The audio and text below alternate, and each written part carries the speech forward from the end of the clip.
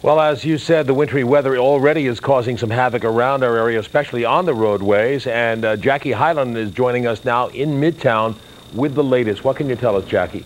Well, Marvin, while it's not that bad in the city just yet, Long Island has been experiencing freezing rain and ice for hours. Roadways are reportedly treacherous. Since 4 p.m., at least 40 minor accidents. And now snow is on the way.